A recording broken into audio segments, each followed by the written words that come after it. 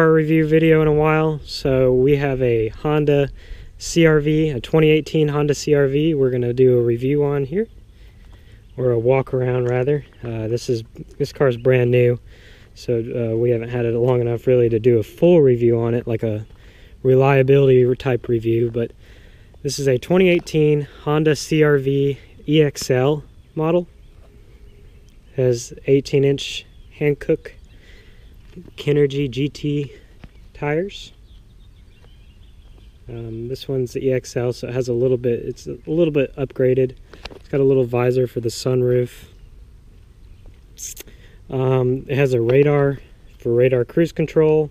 It's got a camera up there that keeps track of road lanes and uh, like lines on the road and it uh, watches for cars like stopping immediately in front of you in case it, has to brake. This car can brake itself. Um, uh, LEDs on the front. Let's see if I can hit unlock here and they'll light up. Here's the key fob. You can see LED turn signals. I want to say these are LED too. See the back here. It is keyless entry. Yeah, LED turn signals. And I believe the, the rear lights are LED as well. Good walk around. Okay, this car actually has keyless start, so maybe we'll go ahead and try that. I believe to use it, you just lock it. The car doesn't honk, it beeps. And it says hold, so we'll hold the start. Okay, you can see the car got the message too. And it started up. This car is powered by a 1.5 liter uh, turbocharged four cylinder and it's mated with a CVT transmission. So it is a really small engine but it is turbocharged and it puts out about 190 horsepower so quite a bit of horsepower out of a tiny little engine. And this engine's the same engine they put in the Honda Fit but the Honda Fit is not turbocharged so it definitely puts out a lot, lot less horsepower in the Honda Fit yeah, uh, there it's running, uh, turbocharged, nice and quiet. Four-wheel disc brakes all around as well. This one is the two-wheel drive model as well. So we'll go ahead and hop in here. I'm not, so you should be able to just grab it. Yeah, there's no button you have to push. You can grab hold of the handle and it'll open its, uh, unlock itself. There's a little sensor on the back. So no button to push there. You can hop in here. This one has the gray interior and with black accents or the black interior with gray accents has the uh, fake wood trim. This has like a metallic feel to it. It's kind of interesting. Uh, some kind of aluminum inlay a few driver presets here the normal Honda controls. If you've ever been to Honda a lot of stuff is standard. Um, over here before we get in as well this is to prevent the car from braking itself if need be. This is lane departure the trunk button and vehicle traction control before we get too far into this as well, I'll go ahead and pop the gas cap. This car is kind of interesting. It does not have a gas cap. It just has a gas hole, I guess, or gas filler. There's no twist on gas caps. You just put the fuel nozzle right in there and fill it up. So you don't have to ever touch really anything except the fuel nozzle. I'm going to close that back up there. Okay, coming inside, go ahead and hop in here. Uh, with the car on um, starting with the key, the climate is running to try to bring the inside of the car up to a temperature that's comfortable. And so to bring it back to where you can normally drive it and it's not on like a countdown before it can run, you can just hit that. Well, that shuts it off, but you need to hit your brake, then hit that. It'll start back up for you. It has electric power steering. And pretty much a, the whole middle is digital and the right and left is uh, digital it makes it look like analog, but they're digital gauges as well. Starting on the left here, you have uh, you can see the little car symbol in the mirror. That's your blind spot monitor. There's a lot of technology in this car that I mean, even even having it for as little as I had, I still haven't found all the technology in this car just yet. Um, moving on, you, like I said, your normal cruise, your normal window controls. You have a preset for your driver. It's your normal lock unlock door all this is soft touch right here this is hard plastic hard plastic soft touch soft touch up to top here. A lot of people put their arms up there. Have a little tweeter, little defrost vent, little cubby hole. Not sure what that's for. There's a lot of blank spaces here. So I would imagine either they might use this dash for another vehicle or oh, there's a lot of buttons missing here. I'm not sure what would be there. I would imagine maybe foot adjustment pedals and things like that. Um, I'm going to keep with the dash and we'll come back to that in a second. Um, the seats are comfortable, perforated leather, and they're heated as well. Three stage, as you can see right here. Three stage heated. Uh, you have a lumbar adjustment, which is a whole bunch of adjustments for lumbar. And uh, driver seat forward, back, up, down, whole bunch, back, forth. Tons of adjustments there. Uh, moving on, we'll get we'll get to the media in a second. Electric parking brake. I believe you put your foot on there, and it sets the parking brake, and you can push to release. You put your foot on the brake and push it, and it takes it off. Brake hold but function is if you're at a light and you're holding the brake. Say you're at a stoplight and you're holding the brake, waiting for the light to turn green. If you have the brake hold uh, function on, it'll automatically hold the brake for you, and you don't have to sit there and hold the brake at a light. And that pretty much goes for any time you are stopped and holding the brake. Uh, it'll keep the brake held and it will release as soon as you go to hit the gas. So you really don't have to do anything, you know, switching over to go. It's a pretty neat feature. Normal shifter, you have a park, reverse, neutral, uh, sport, and low. Econ button, I'd imagine that just changes shift points. Moving down, you have one power outlet. It's 180 watts max. Uh, that does that's for our security system. Uh, just a little cubby tray here, uh, cup holders, which I don't. That's kind of an odd size cup holder. I don't know how much stuff would fit in that. Center console here is leather wrapped, and you have Honda does these kind of interesting adjustable kind of center consoles. All our vehicles have these weird center consoles. They put a lot of, um, we have a whole bunch of Hondas. They all put weird sliding adjustable kind of center consoles. And they're pretty useful and uh, comfortable. Down here you have a USB that's 1.5, a USB that's 1 amp, and then another power amp outlet. This one is for your um, media system, your entertainment system up front for like Android Auto and such. I'll put that back up kind of a rubbery texture here, I would imagine, so you can put your cell phone so it doesn't slide around. Moving on on this side, pretty much the same uh, perforated leather seat. I don't believe, actually, these this is a electric seat as well. No lumbar, but it is electric, moving up, down, back, fart, uh, back, forth.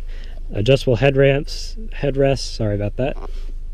And the same type of pocket you have in your driver's side, you have another cup holder storage, uh, speaker, soft touch and uh, buttons and you know the normal spiel uh, another tweeter uh, up here got uh, can see the camera there lighted mirrors uh, rear view mirror like that that you have find on most Honda vehicles and they usually multifunction where you can put glasses up there as well that's pretty neat you have garage door buttons if you have them programmed that's pretty simple to do. You can read the owner man, owner's manual about that. Uh, your function for your interior lights, your door on off, your tilt and sliding moonroof. This car is a sunroof or moonroof, whatever you want to refer to it as. And uh, yeah, it's got a, uh, a, normal storage box there. I'll open up the uh, container here so you can get a rough estimate of uh, what all this car comes standard with. See a whole bunch of information there about the vehicle. It's supposed to get 30 miles per gallon combined. It's, remember, it has a CVT, so it should should theoretically get that. You can read all the information here. Pause it if anything interests you. It's made in Indiana, or final assembly is in Indiana. And I want to say, let's see what it said here. The car is 65% built in the USA, so that's pretty good. I do have some rubber floor mats in here. They fit the car pretty well. They're Goodyear. Uh, they're just simple cut um, type floor mats. Close the door back up here. Now this is where it kind of gets confusing. There's a lot of controls up here to try to. I'm not completely fluent in them, but there are a lot of controls here that you can mess with. The headlights are automatic. You can have your parking, auto. You can just leave it there the entire time you own the car. And uh, there's your normal headlight button. Down here you have your fog lamps. This car has fog lamps. We'll go outside and look at them. Just your normal turn signal. It also has the quick turn signal where you can just push it down once and it'll flash three times. A lot of cars are coming with that. And um, over here you just got your normal windshield wiper. It has a rear windshield wiper and a mist as you just pull like any other Honda. Okay, now getting to the dash here, uh, or the steering wheel rather, you got your telephone controls, your voice commands, which you can tell it to do things uh, just like many cars nowadays. You got your uh, different your volume level on your radio right here. It's kind of a weird textured button.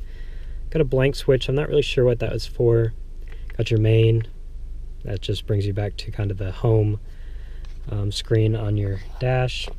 Your cruise control is on this four toggle thing your radar cruise control. This car does have radar cruise, so it can lock onto the car in front of you and kind of trail it. And if it slows down, you're going to slow down. If it speeds up, you're going to speed up. It sort of just keeps track. So if you're in like a convoy with somebody else, that comes in handy so you don't have to sit there and try to monitor your speed. Uh, this is a little information button that changes the little information on your dash. Let's see if I can get you guys up there so you can see it. Uh, you got your fuel. We'll look at that real quick right now I'm getting I just filled up so I'm getting 24.1 which that's not accurate. I literally just filled up probably a mile ago and it resets. Um, next button is your driver attention level. I'm not really sure 100% what that does but I think it works in conjunction with like the lane departure and such to make sure you're not going out of your lane. And it will tell you if you need like coffee or something maybe you need to take a break while driving. Your oil life kind of I'm kind of surprised Honda didn't really put any other things you can view in here. You can't really view any other mechanics of the vehicle. You can just view oil life. Be nice to see like turbo pressure and stuff. Your radio, which is adjustable here as well. Uh, phone information when you hook up your phone. If you want to switch kilometers to miles, maybe you're going into uh, Canada or Mexico. And turn by turn directions. So if you uh, have the navigation with Honda, your navigation information will show up on your dash as well. Kind of interesting.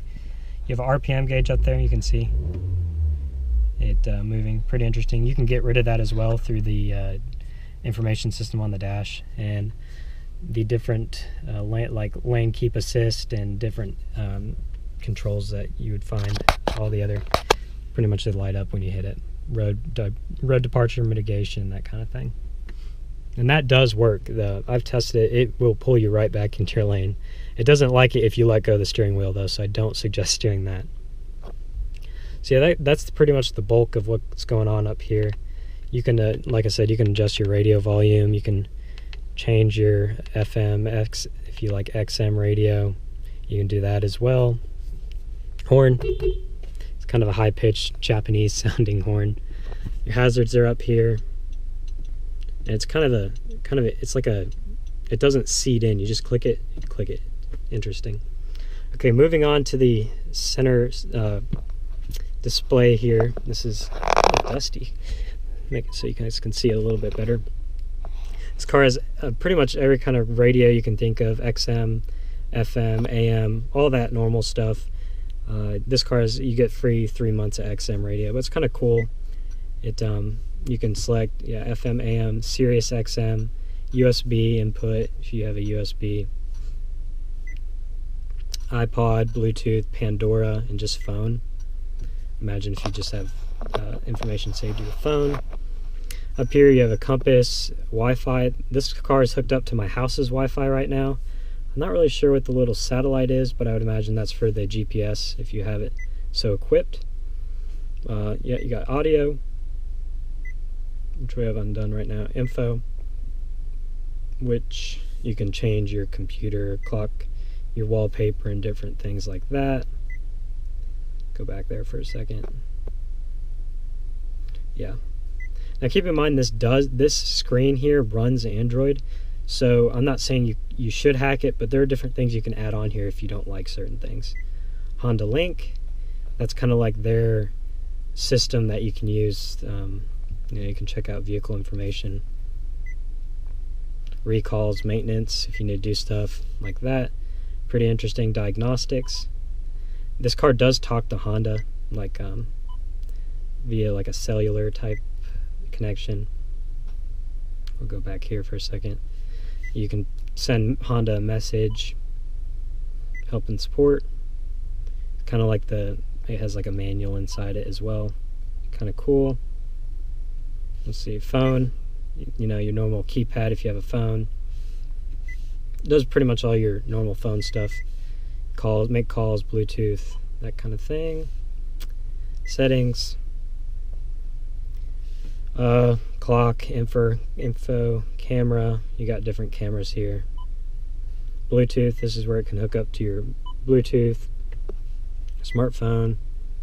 You got Android Auto and Apple CarPlay, normal phone audio, and it shows up, um, you know, you puts cover art and that kind of stuff, which is kind of cool. Go back here, system, lots of stuff in this display. This is where you can turn off the tach if you don't want the tach on the screen. You can change background color, all different different kinds of colors. I'll click on that one for example. Blue, green, violet, red, amber, whatever you want. Tons of different settings you can mess with. Home screen, you can change stuff on that. Display, different colors, background color, display beeps, noises, that kind of stuff. Voice recognition, clock, and others. You know, this is data resets, detail information. American funds them. Oh yeah, there's your. That looks like Android for sure. Pretty cool. They let you uh, view that. I think. Okay, we'll go back home here. I think we're and then you get back to your phone, uh, smartphone connection, and then you click this button. More kind of Androidy looking stuff. You can download apps. Uh, if you have an APK file, it'll download it right off a USB drive. And there you got your volume control over here, and your audio off, audio on. I have volume all the way down right now. It's pretty uh, user friendly. The old Honda system used to not have this knob, so you used to have to do the volume by the touchscreen, which a lot of people didn't like.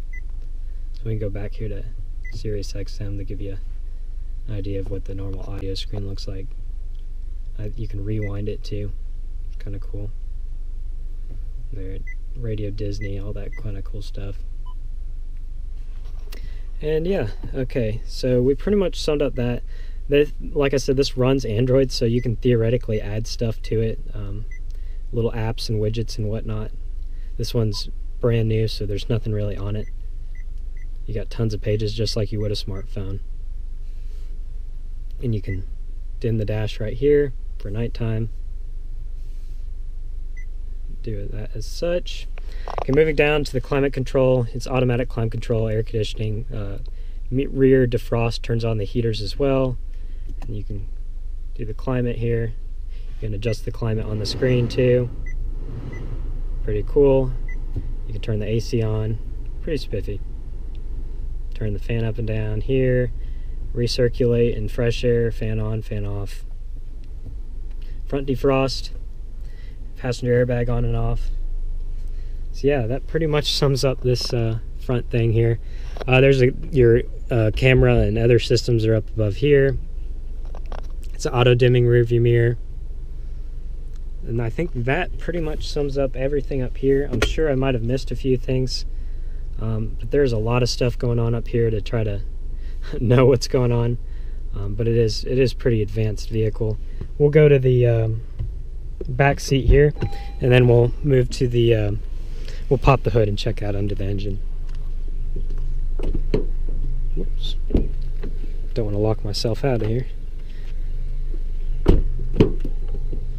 Same kind of soft touch material you found up front is in the back, except this top piece here is hard plastic now. Looking in, uh, your gray seats and then uh, black flooring. I'm five foot six, and I probably have a foot between my kneecap and the seat in front of me, so tons of leg room. The rear seats do have air vents, which is nice. Not very many vehicles consider this. And you have the blast air conditioning. They get it up back here. Two two and a half amp USB chargers down here, which is really nice. It's something you don't um, you usually find 1 amp or 1.5 amp and they charge your phone really slow. These are 2.5 amps, so they'll charge your phone very fast. Map pocket behind the passenger. This is a 60-40 split seat. You got two cup holders right here. Headrests all the way around that are adjustable. Your seatbelt's back here for this area. Little map light. And yeah, pretty pretty comfortable large back seat here. Um, definitely anybody large in size could definitely fit in here comfortably. Pretty much your standard Honda features. Pop back out here, move to the trunk. The trunk is the car senses that I have the key in my pocket, so it's it's not happy that I'm walking away from it very much. The trunk is electric. It'll raise by itself here. and you have a spare tire underneath here it's a Kenda tire I'm not going to open it I guess uh, your license plate mounting bracket. This flips down your front seats your 60-40 seats. Kind of a goofy light system here. You got to turn on manually. I don't know why they don't have a rear light back here that um, just comes on when you open the door. You have a rear like I think these are called a deck lid that comes out like this to cover up things in your trunk in case you know you're coming at you're in a parking lot that's not very nice area. Can cover things up like that. Uh, ton, tons of room down here. You can fit a whole uh, whatever you probably golf clubs back here whatever you could possibly think you might need. These pop out. I'm not really 100% sure what the purpose of these but they're there. And yeah the close the trunk. You can click that guy. Goes down nice and easy. Has dual exhaust. Not true true duals I don't believe but a wide pipe type of dual. Those are the gray wheels pop back here we'll pop open the hood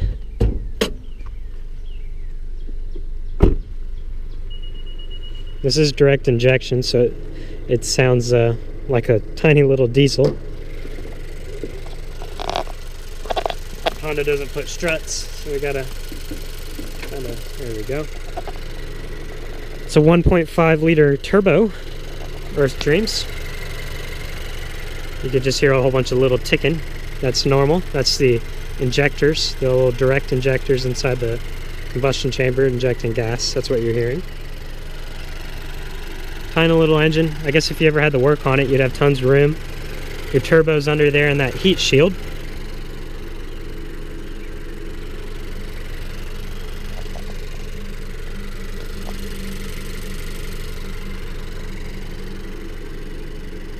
very functional. I see Honda put their little, they, they try to make cold air intakes out of the way they do their grill. Like on the Ridgeline there that has a cold air intake, I'd imagine this functions the same way where it forces air into this as a cold air intake. All right, that pretty much uh, sums up under the hood. We'll pop this back down here.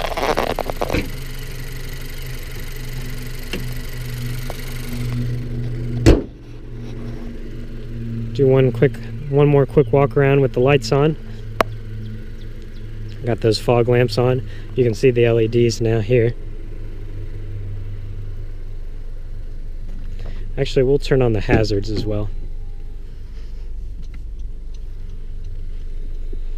Give us an idea of you can see the rear tail lamps there. It's all LED you got side markers in the mirrors as well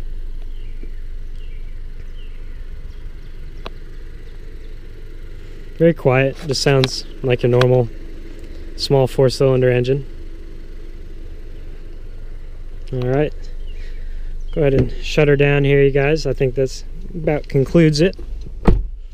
Turn that off. It has that Honda new Honda smell that everybody enjoys. We'll cut the headlamps off here. We'll turn the lights off and uh, this car has, uh, I'll tell you that as well.